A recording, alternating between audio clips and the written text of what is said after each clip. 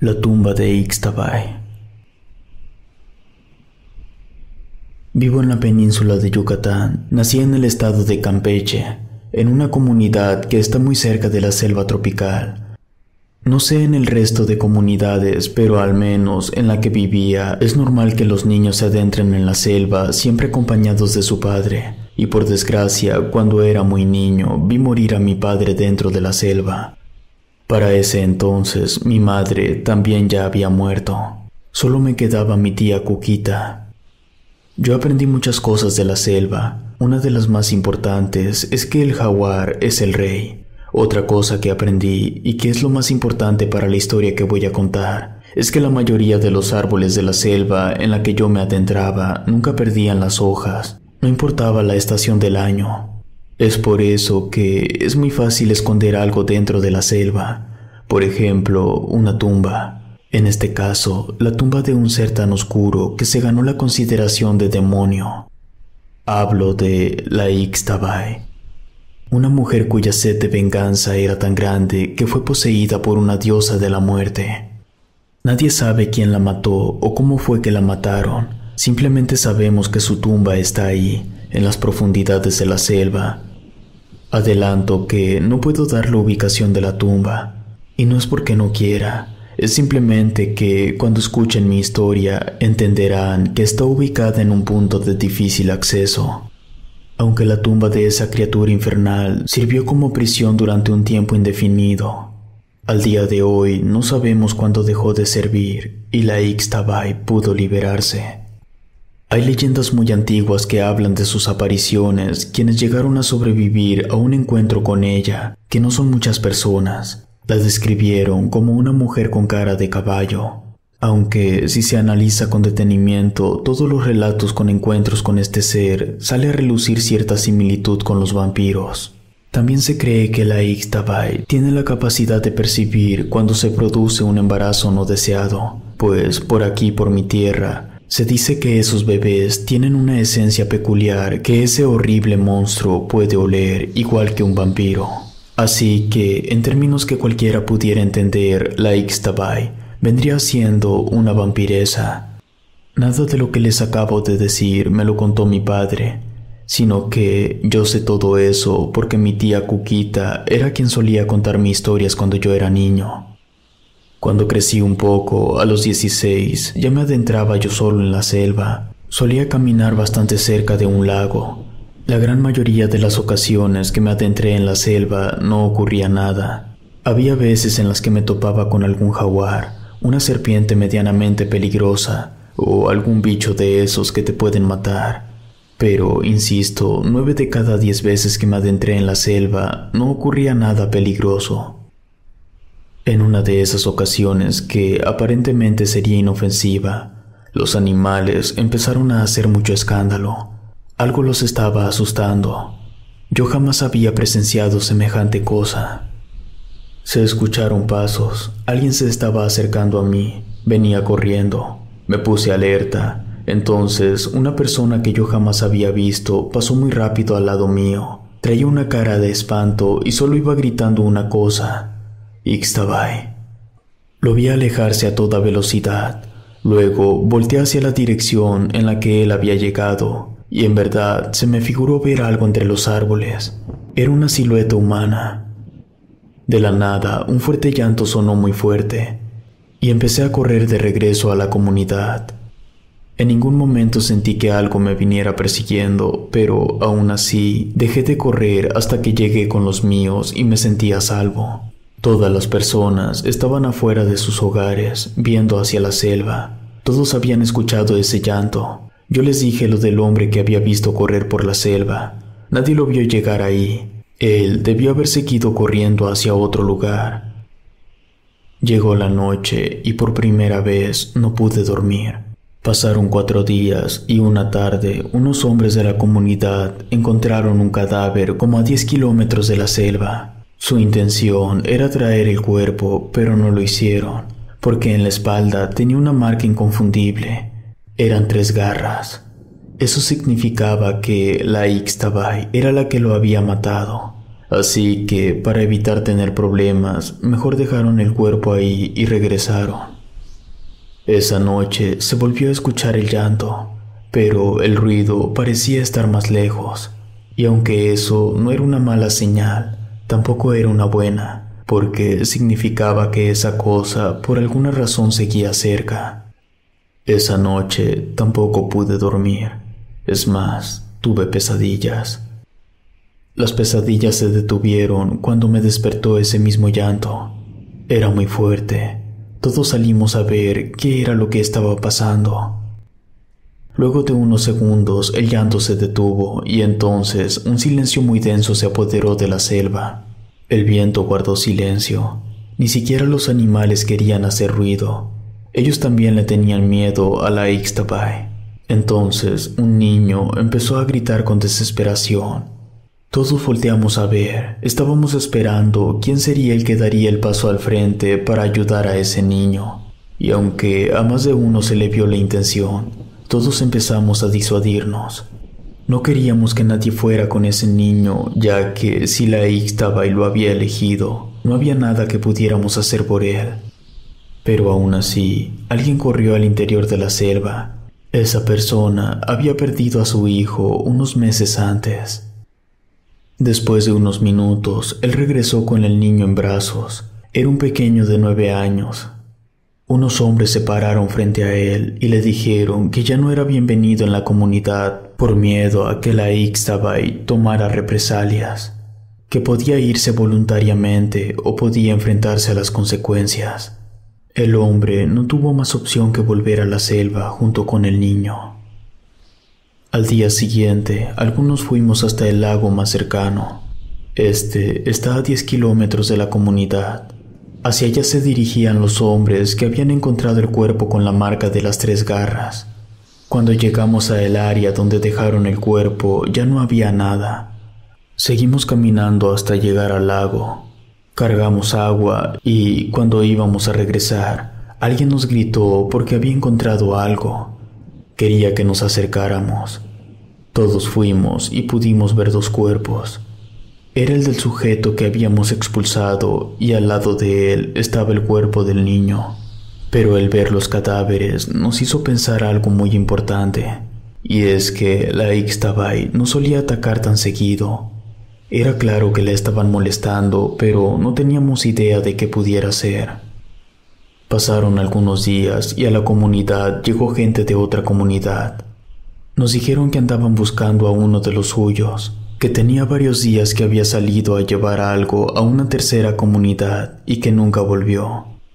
Por la descripción supimos que se trataba del hombre que había pasado corriendo al lado mío. Les contamos lo que pasó. También les preguntamos sobre la otra comunidad, por qué no habían ido a esa tercera en lugar de venir hasta acá. Nos respondieron que ya habían ido, pero no habían encontrado a nadie, que parecía como si todos hubieran abandonado el lugar, como si algo los hubiera asustado tanto que salieron corriendo. Todo parecía indicar que la Ixtabay había atacado a esa tercera comunidad. Quizá el niño muerto también pertenecía a esa misma. La cuestión era que no teníamos ni la más mínima idea de por qué esa criatura infernal quería atacar una comunidad. No había ningún precedente. Algo muy grave tuvieron que haber hecho para hacerla enojar tanto. El grupo de personas nos agradecieron y nos dijeron que regresarían a su hogar, que si su compañero ya estaba muerto, no tenían nada más que hacer afuera. Antes de que se fueran, les pregunté dónde estaba esa otra comunidad.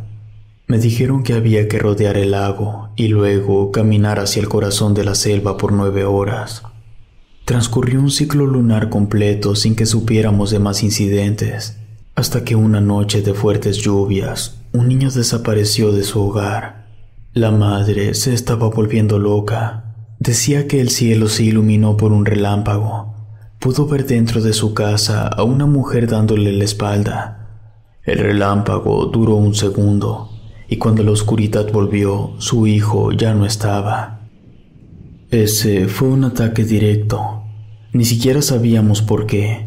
Quizá tenía algo que ver con que uno de los nuestros intentara ayudar al niño de la otra comunidad, o quizá no. Teníamos que averiguar qué era lo que estaba pasando, porque si nos quedábamos de brazos cruzados, las cosas podrían terminar muy mal. El problema era que hasta la otra comunidad se hacían más de 12 horas caminando, así que si nos íbamos cuando saliera el sol, llegaríamos de noche y tendríamos que caminar toda la madrugada de regreso. La otra opción era irnos al ponerse el sol y llegar hasta allá al amanecer y llegaríamos antes del siguiente anochecer. Sin importar cuál de las dos opciones tomáramos, tendríamos que caminar toda una noche. Yo voté por la segunda opción, ya que así la noche la tomaríamos desde casa, pero los cinco que íbamos a ir, tres votaron por la primera opción, en la que nos íbamos en la mañana y llegábamos allá en la noche. Así que al amanecer con los primeros rayos del sol, comenzamos nuestro camino. Al llegar a esa comunidad pudimos comprobar que estaba desolada. Intentamos encontrar algún indicio que nos sugiriera hacia dónde se habían ido, pero todo indicaba que cada quien había corrido en diferentes direcciones. Decidimos no caminar directamente de regreso a nuestra comunidad, sino que haríamos una media luna y llegaríamos por detrás. Quizá, con suerte, encontraríamos algún sobreviviente. Caminamos por unas seis horas, cuando de pronto pude ver de reojo cómo alguien pasó caminando entre los árboles. Iba en sentido contrario en el que íbamos nosotros. Es decir, se estaba dirigiendo hacia la comunidad desolada. Yo me detuve y le dije a los demás. Todos pensamos que se trataba de alguien que había vivido ahí y que estaba regresando para ver si alguien más había regresado así que decidimos dar media vuelta y apuramos un poco el paso para intentar alcanzarlo. No habíamos avanzado ni 200 metros cuando vimos a la persona que se había detenido. Se trataba de una mujer. No quisimos acercarnos más para no asustarla. Ella no parecía pertenecer a la zona. Uno de nosotros le habló. Le preguntó si se encontraba bien, si de casualidad necesitaba ayuda. La mujer no respondió, simplemente se giró de perfil. Lo hizo muy despacio, y mientras lo estaba haciendo, nos dimos cuenta que su cara no era normal, era alargada, parecía tener la cara de un caballo. Al quedar de perfil, solo un ojo era visible, era rojo intenso y brillaba. No teníamos ninguna duda, se trataba de Ixtabay. Esa cosa abrió su hocico y en ese momento se escuchó el llanto tan espantoso. Nos dimos la vuelta y empezamos a correr a toda velocidad. Se escuchaban pisadas fuertes como de pezuñas. Yo sentía una desesperación horrible. Fue un momento muy feo. No supe en qué momento, pero uno de nosotros dio un alarido muy fuerte. Esa mujer lo había agarrado. No podíamos detenernos. No había nada que pudiéramos hacer contra ese monstruo. Tras cubrir una distancia considerable, necesitábamos descansar, así que nos detuvimos. Ya no nos sentíamos perseguidos. No podíamos regresar a la comunidad, no teníamos nada de información y aparte uno estaba muerto. Teníamos que encontrar algo, cualquier cosa para que la muerte de nuestro compañero al menos valiera la pena. La ruta que habíamos planeado de media luna extendía la ruta al menos dos horas, así que aún no estábamos ni a la mitad de la distancia. Decidimos que nos quedaríamos ahí, tomaríamos turnos para dormir y para vigilar, y en la mañana veríamos qué hacer. La noche pasó tranquila, como éramos cuatro al día siguiente. Acordamos que cada uno caminaría en una dirección, que lo haría por cuatro horas, y luego regresaría en esa misma línea recta. Así nos encontraríamos nuevamente al atardecer. A mí me tocó ir al sur. Cuando ya habían pasado las cuatro horas, pude ver a lo lejos a un anciano. Él iba caminando apoyado en un bastón. Su andar era en verdad muy despacio, así que corrí hasta alcanzarlo. Yo intenté hablarle, pero no me respondía. Le toqué el hombro, pero no reaccionaba a mi presencia. Él simplemente seguía caminando sin importarle que yo estuviera ahí. Me paré algunos metros frente al anciano. Ahí me di cuenta que el pobre hombre no tenía sus ojos. No podía verme y por la edad posiblemente ya no me escuchaba. Pero también me di cuenta que él estaba moviendo la boca. Algo estaba diciendo en voz baja. Yo me acerqué a él y me agaché un poco, ya que el anciano venía encorvado. Solo estaba repitiendo una palabra, Ixtabay, Ixtabay. Lo decía una y otra vez. Ese anciano, de seguro, era un sobreviviente de la comunidad desolada, pero no podía decirme nada. Lo que más me intrigaba era hacia dónde se estaba dirigiendo. Ya había llegado la hora de regresar con los demás, Miré hacia todos lados, tratando de grabarme el lugar en el que estaba y hacia dónde estaba caminando el anciano. Luego corrí hasta el punto de reunión. Fui el último en llegar. Ninguno de ellos tres había encontrado nada. Entonces les dije del anciano. No les parecía la gran cosa, pero yo insistí en que ese anciano era lo único que teníamos, y que si le perdíamos el rastro no tendríamos otra oportunidad. Todos fuimos hacia el anciano solo para asegurarnos de que siguiera caminando. Cuando llegamos con él, todo estaba en orden. El viejo seguía repitiendo la misma palabra y seguía avanzando. Discutimos sobre lo que habría que hacer. Todos querían regresar, pero yo no quería dejar solo al anciano. Yo me ofrecía quedarme con él en lo que ellos volvían para asegurarse que todos en la comunidad estuvieran bien. Yo me quedaría con el anciano en lo que ellos volvían.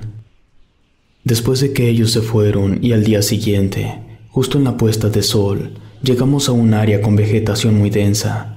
El anciano se detuvo sobre una lápida de piedra caliza. Los últimos rayos del sol me permitieron ver un bulto que se intentaba camuflar entre los troncos de los árboles.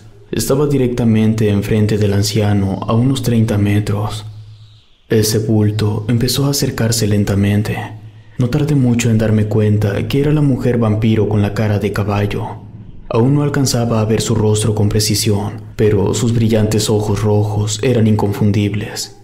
No sabría cómo explicar, pero en esa ocasión no me sentía bajo peligro.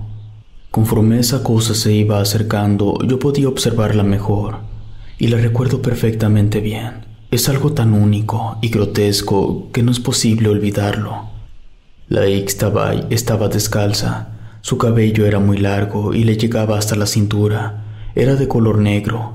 Su rostro, bueno, como les dije antes, era parecido al de un caballo. Sus brazos y piernas estaban descubiertas, y a pesar de que su piel era de tonalidades grises, se notaba que esa mujer en vida había sido muy hermosa. Esa cosa estaba emitiendo un sonido. Era muy tenue y aireado. Era similar a una canción de cuna, pero el tono era oscuro, melancólico y siniestro. De la nada, el anciano sacó un objeto filoso y se rascó el cuello. Aquello fue demasiado impactante. No pasó mucho tiempo para que el anciano quedara completamente inmóvil. Se vació rápido. Mi mirada estaba clavada en él. Cuando quise volver a ver el monstruo, ella se había ido. Creo que era evidente que aquello había sido un sacrificio. Supuse que era para apaciguar al monstruo. Yo, aún atónito, me alejé del sitio lo más que pude, hasta que el cansancio empezó a superarme. No supe cómo ni cuándo, pero me quedé dormido. Desperté con los primeros rayos de sol, me puse de pie y seguí caminando. Varias horas y kilómetros más adelante me encontré con una persona que habían enviado a buscarme. En lo que volvíamos a la comunidad, le conté lo que había pasado con el anciano y la Ixtabay. Él respiró aliviado y me dijo que esperaba que con eso la criatura se quedara tranquila por un buen rato. Ya estando en la comunidad, lo conté todo, y todos se quedaron tranquilos, menos yo. Yo aún tenía la duda de qué rayos era lo que había desatado la ira de esa criatura. Yo quería saber cómo era posible que las cosas hubieran escalado a tanto. Esa noche yo me senté a platicar con mi tía Cuquita sobre todas las cosas que ella me había contado siempre de la Ixtabay. El resumen de todo lo que hablamos es la información que ya les comenté casi al inicio de mi relato. Los meses posteriores transcurrieron en completa calma, pero yo no podía sacarme las preguntas de mi mente. De hecho, cuando tenía oportunidad, me iba hasta el lago y me sentaba en la orilla. Me quedaba ahí hasta que anochecía. Mi idea era verla una vez más. Ahora que lo analizo, no tengo idea en qué tontería estaba pensando, pero el problema es que yo me había obsesionado con el tema. Una tarde, cuando ya iba de regreso a la comunidad, quedaban pocos minutos de sol, escuché el llamado de la Ixtabay. Miré hacia todos lados esperando encontrarla. Entonces la vi. Estaba del otro lado del lago. Iba caminando, estaba envuelta en llamas y sus pasos dejaban fuego. Siguió caminando en dirección al lago y al final se lanzó hundiéndose mientras su llanto se iba volviendo cada vez más y más tenue hasta que desapareció por completo. La noche siguiente yo estaba volviendo a la comunidad cuando de la nada sentí un viento helado. Seguido de eso se soltó una tormenta. Antes de aquello ni siquiera estaba nublado. Algo muy extraño estaba ocurriendo. Entonces escuché esa melodía macabra la que la Ixtabay había hecho antes de que el pobre anciano se sacrificara. Yo volteé apurado a lo lejos y la pude ver. Estaba ahí, parada, mirándome. Me quedé paralizado. Ella simplemente empezó a caminar hacia atrás hasta perderse entre los árboles. Entonces sentí que alguien me jaló del brazo. Yo volteé asustado, pero era mi tía Cuquita que quería que entrara para que no me estuviera mojando. Me dio unas telas para que me secara. Ella, como siempre, ya tenía la cena lista. Tengo fresco el recuerdo de esa escena. Al terminar, mi tía y yo estuvimos platicando de muchas cosas, hasta de mis padres, las cosas que yo hacía de niño. También me platicó sobre mis abuelos. Fue la conversación más agradable que tuve en mi vida. Mi tía murió esa noche Sinceramente, no sabría decirles qué fue lo que pasó. Yo no sé de esas cosas, solo murió y fue todo. Fue un golpe muy duro para mí. Ahora sí, me había quedado completamente solo. Ya no tenía nada que me atara a esa comunidad, así que al día siguiente me fui. Decidí caminar sin rumbo fijo, ya nada me importaba. No tengo idea de cuánto tiempo estuve caminando, Finalmente salí de la selva. Casi a rastras había llegado a Calakmul. Ahí me quedé tirado. Esto que les estoy contando me ocurrió hace demasiados años. En ese entonces Calakmul no era tan turístico como lo es ahora. Ya que desperté y que caí en cuenta en donde estaba, lo interpreté como una señal que debía continuar con mi vida. Así que fui hasta la ciudad y busqué trabajo. Dormía en la calle y de vez en cuando aún podía escuchar ese tenue canto de la Ixtabay. Con el tiempo pude juntar un poco de dinero y tratando de escapar de mis recuerdos me fui a otra ciudad, pero la voz de esa mujer me seguía atormentando. Un día, harto y desesperado de esa situación, fui con una curandera para que me ayudara. Ella me dijo que podía ver una profunda tristeza en mis ojos y me preguntó qué era lo que pasaba. Le conté lo de mi tía y mis padres. Entonces ella me dijo que ese era el motivo por el cual me estaba siguiendo la llorona. Así la llamó la curandera porque la Ixtabay y la llorona muchas veces son interpretadas como el mismo ser. Yo no entendía a qué se refería. Ella me explicó que a la llorona le gustan los huérfanos ya han pasado décadas desde que me ocurrió todo esto. Creo que ya lo he superado, al menos en una parte. Estoy casado, tengo tres hijos y un perro. Logré rehacer mi vida y fue difícil. De vez en cuando todavía escucho el llanto de la Ixtabay. Le he perdido el miedo, pero lo único que sí me da pavor es que algún día esa cosa quiera venir y llevarse a mis hijos. Si te gustó esta historia, suscríbete activando la campanita para que no te pierdas lo mejor de Rede.